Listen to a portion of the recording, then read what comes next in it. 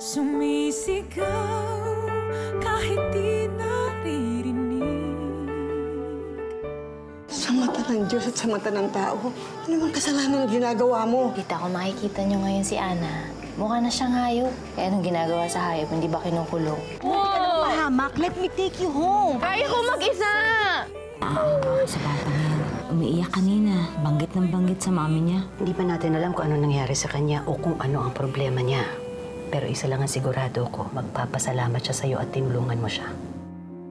Yung mga bata ang unang nakakita sa Alinaw. Ang sabi, nakatakas daw yung sa lumang bahay. Ana? Ana! Paano nangyari na sunog ang kulungan? Nakatakas si Ana, ha? Panahon na para makabalik si Ann sa mga magulang niya. Di ako papayag! Ang tagal ko naging pag-aari si Ana! Di ako papayag na mula siya basta-basta! Hanggat sa nabubuhay ako, hindi hindi ako papayag na maging masaya sila. Nagawa ko silang sirain noon. Kayang-kaya kong gawin yun ngayon. Ano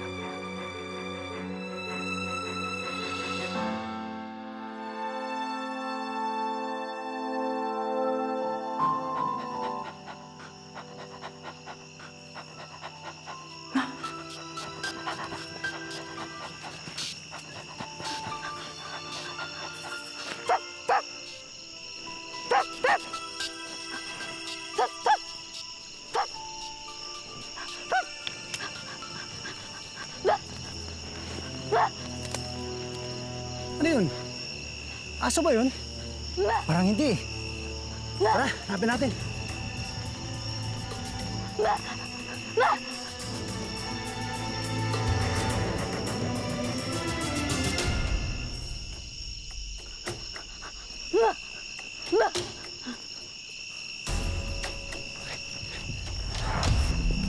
Anong klaseng hayop to? Tara, dali natin liwanag para mas lalo natin makita. Tara!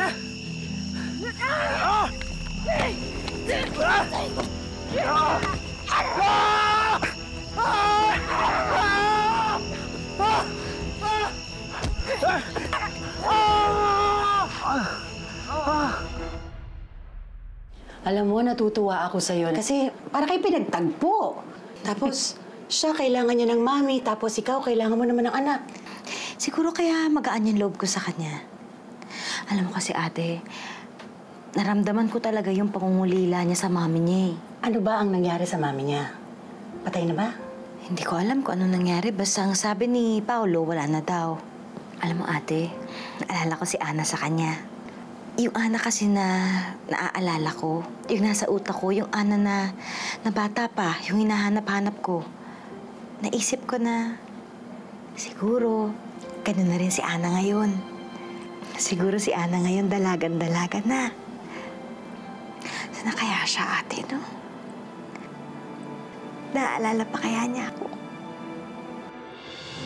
Lumipas na ang mga taon. Napakarami nang nagbago. Pero kahit kailan, hinding-hindi magbabago ang pagmamahal ko sa'yo.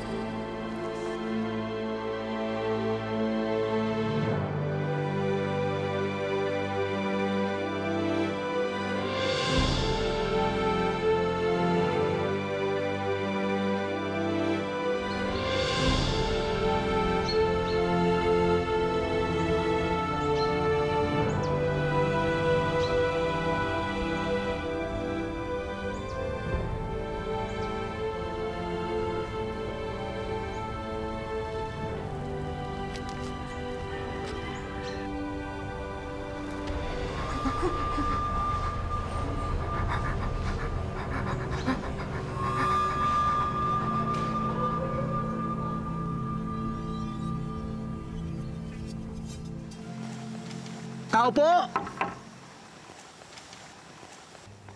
Tao po!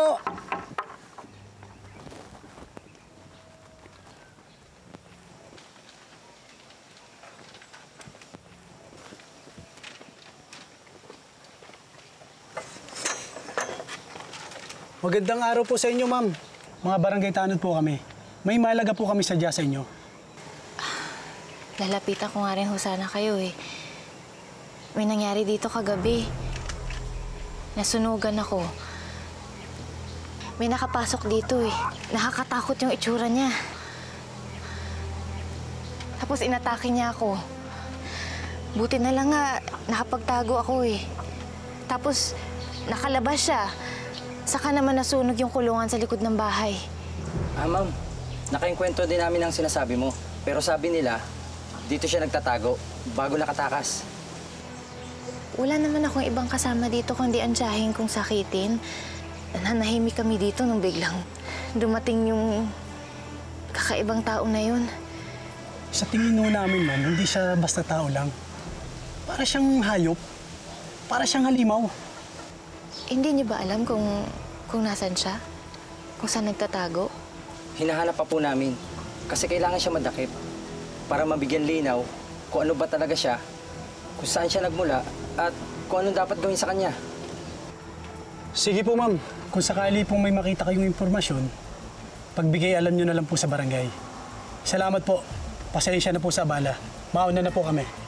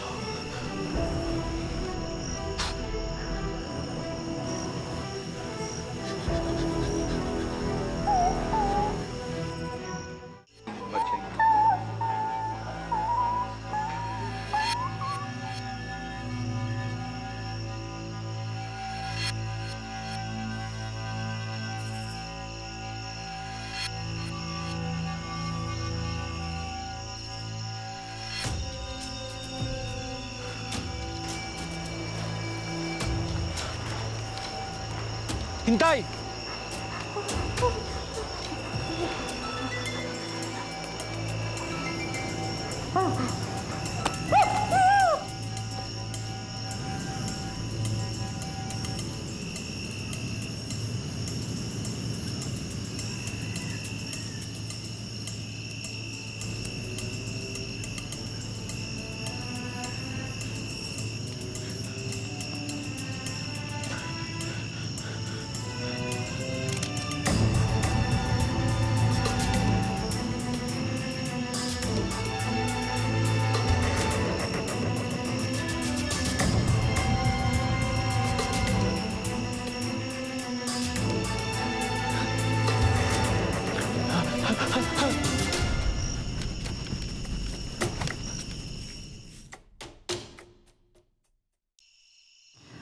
my God, that's so scary, Calvin. Sa tagal kong umakit sa bundok, ngayon lang ako nakakita ng ganito. Inay, ako ba isa pa? Ayan o. Hindi kaya taong gubat to. Ano? What you think? Longest relative ni Tarzan? Hindi. Mas taong grasa ang dating niya. Taong grasa ang baliw, ganun. Kami sa totoo lang, hindi ko alam, hindi ko alam kung ano siya eh. Dyan, nung hindi pa tayo magka-orgmate, lagi kami ni Angela umakyat sa mga bundok. Lagi kami nag-hiking yan. Pero alam mo, wala pa kami na-encounter na ganito. Ay, nako. Si Angela na naman. Bakit kasi hindi mo makalimutan yung girlfriend mo? Eh, nandito naman ako. Yay! Tumada mo. Hindi, pero alam mo, parang pamilyar nga sa akin yun. Parang nakita ko na yun sa psychology class ko. Pero nga, pa-research lang. Ito. Feral child. Real what? Feral child or wild child. Yun ang tawag sa kanila. Lumaki sila isolated from human contact from a very young age. Okay. Wala silang masyadong experience sa human care, behavior, and human language. Yung iba nga sa kanila, pinabayaan na ng magulang nung bata pa lang sila. May mga cases din na lumaki sila kasama ang mga hayop. Kaya naging asal hayop na rin sila. Hmm. Eh baka naman feral creature ang na-encounter mo, Calvin, ha? Kung wild siya, oh guys, dapat siguro mag-double ingat tayo. Mahirap na. Hindi natin alam kung anong kaya niyang gawin. Mamaya mapahamak pa tayo. Basta, basta Calvin, dito lang ako sa tabi mo ha. Para safe ako. si Trixie pa simple, oh. Yan na naman. Nakakatakot yung mukha. Tumingin-tingin kayo sa paligid, ah, baka mamaya. Hindi mo eh, feral baka child, eh.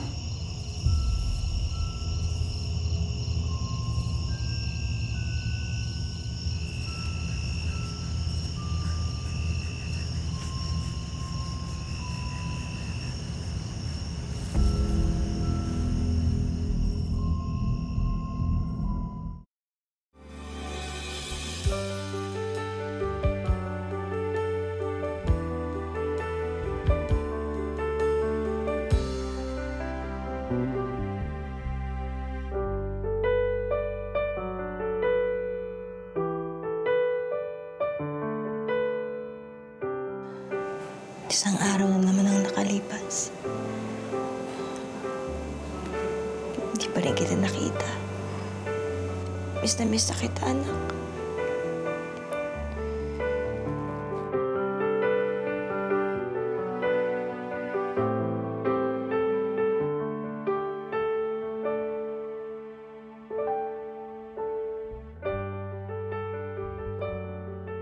If only you were here, Angela.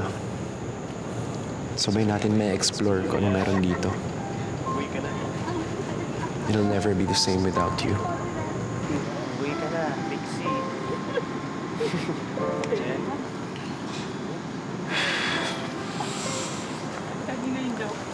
Bro. Kanina yung joke. Natatawa ako. Ngayon mo ito dyan. Sa'yo, no? Okay lang ako. Uy, dalawa yun ang Naalala mo na naman si Angela, no?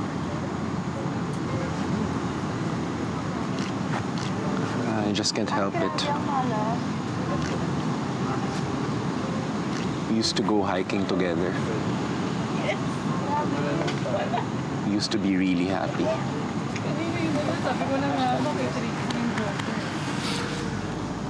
Mo, bro, wherever she is, nandyan lang yun. Binabantayan ka. Sabi ko na nga Trixie yung joke. Yun. May mali. May mali dito sa cards.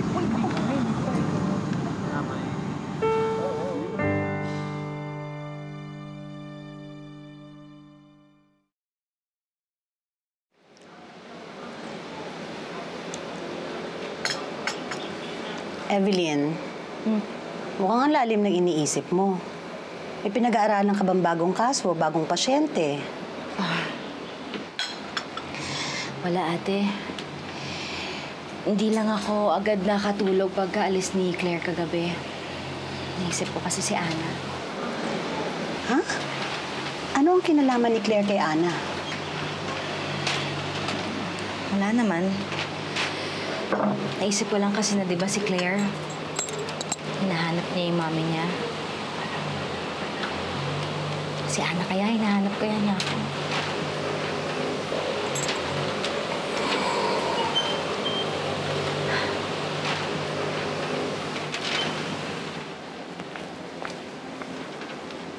Ma'am, excuse me po. Nakita ko ho ito sa guest room. Naiwan ho yata ng bisita niyo kagabi. Excuse me po. Sigurado kay Claire to. Baka hinahanapan niya to. Kailangan maisuli ko to sa kanya.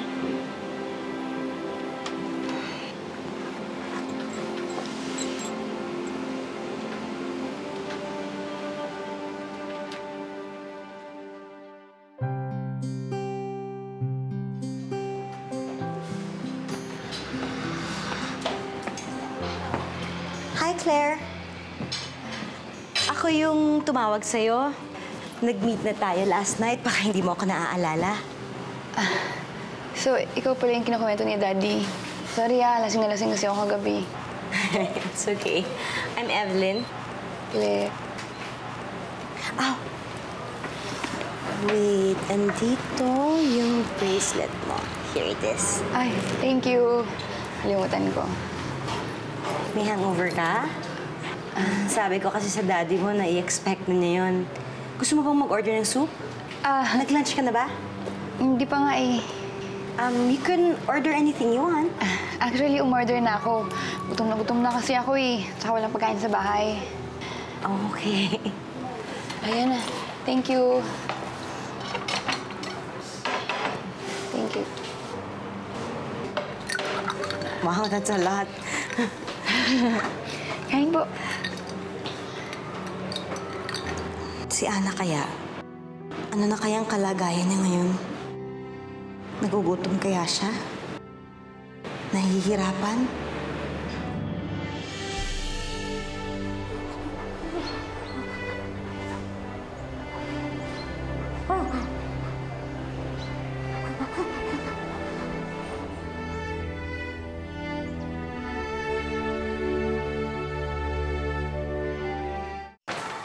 Don't mind, pero kagabi, nung nakita kita, Ah, wala lang yun. I just wanted to have fun.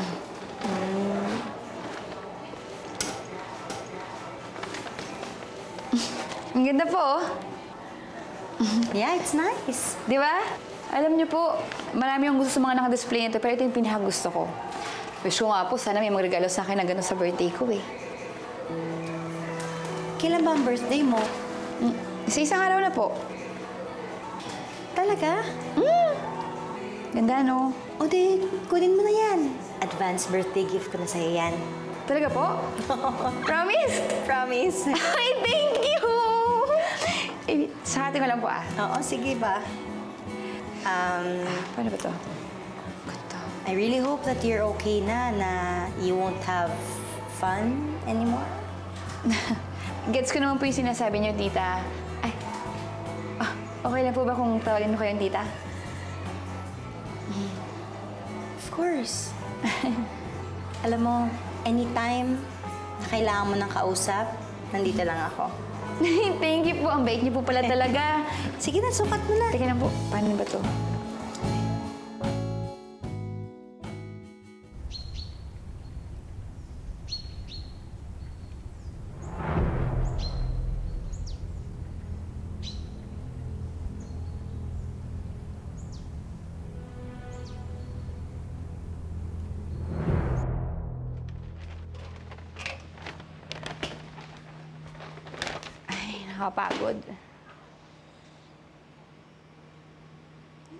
Ang ganda nito ah. Claire, Dad, ano to? Pinadalhan ako ng sulat ng eskwelahan mo. Hindi ka raw pumapasok. di ba sinabi ko na sa inyo na ayoko ng course ko? Ikaw lang naman tumapilit eh. Claire, araw-araw kang umaalis. Buong akala ko nag-aaral ka, yung pala gumigimi ka lang. Nag-aaksaya ka lang ng pera natin eh.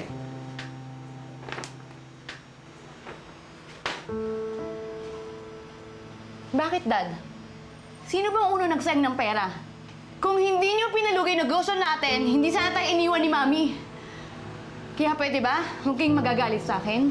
Dahil kung meron dapat sisihin dito, hindi ako, kundi kayo! Claire!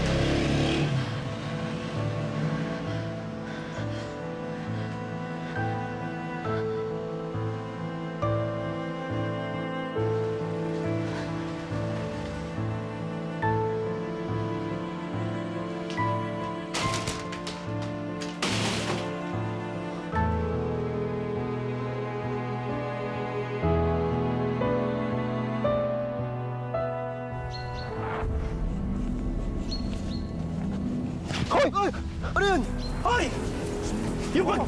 Yung bag mo! Dali! Elmo! Elmo! Sama mo kay Elmo! Ano yun? Sapatos mo! Ano yun? Nakita niyo ba? Nandun yung cellphone ko. Nandun yung cellphone ko. Pulin niyo! Bong! Halika, Bong! Alam niyo, sabi ko na nga ba eh, dapat nag-ingat tayo sa taong gubat na yon. Kulit naman kasi. Bakit mo, pare? Baka may nawala ka. Wala, wala. Sino ba kasi mag-aakalang susugo dito yon, di ba? Yung cellphone ko. Yung bag ko, andun yung cellphone ko. Nako, paano rin hahanapin niya? Eh, sobrang lawak nito. Pag ako sa'yo, bibili na lang ako ng bago dito. Hindi pwede.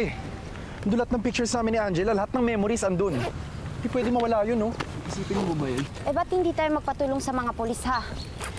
Ang layo-layo kaya ng bayan dito. What about our hike? Pag bumaba pa tayo, hindi na natin matatapos to. Eh bro, cellphone mo, paano mo mababawi yun? No choice, pare. Kailangan ko mahanap yung taong gubat na yun. Or whatever she is. Hindi ako titigil kahit hindi ko siya nakikita. Tignan niyo yung mga gamit niyo dyan. Tignan niyo. Baka may nawala pa. Okay na. Bong, Diba? ito yung tent niyo. Ito. Papalo.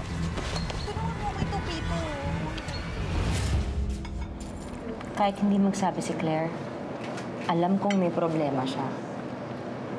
On the outside kasi parang wala lang, happy-go-lucky, masayahin.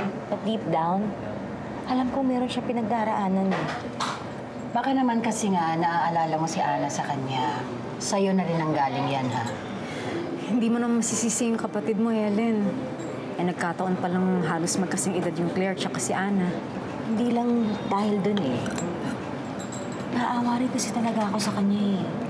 Alam mo, I even told her nga na kapag kailangan niya ng kausap, that I would always be here for her.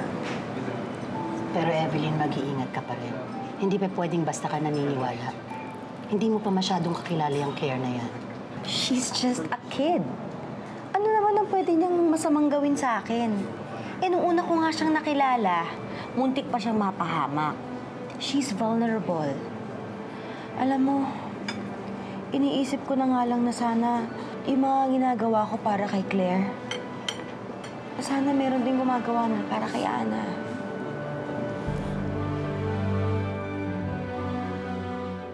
Hoy, bumalik ka dito! Hoy! Anong takas na yun?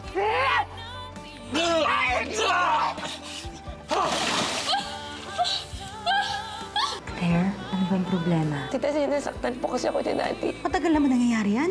Pwede nating i-report ang daddy mo. Kung talagang sinasaktan yung bata, di sumbong mo sa DSWD. Gusto ko munang alamin kung ano ba talaga nangyayari. So ano, itatago mo na lang siya, ganon? Masyado ka na nagiging involved dyan sa Claire na yan, ha? Konting iyak ko lang, konting drama ko lang. Naniniwala agad siya na sinaktan ako ni Daddy. So, anong plano mo ngayon? Hindi naman ako aalis dito nang wala napapalano. Oh my God, jackpot. O bakit ang nakita mo? Alam mo, mas safe pag dito ka magpapalipas ng gabi. Huwag kang pakalat-kalat dyan sa kagubatan. Parehong-pareho kayo ng mata ni Angela. Ganyan na ganyan din siya sa akin pag naglalambing. Alam ko na, dahil pinaalala mo sa akin si Angela, Angela na lang tatawag ko sa'yo.